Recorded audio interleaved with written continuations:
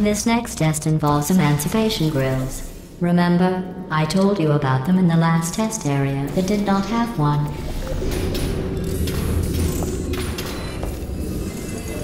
You are faster than everyone.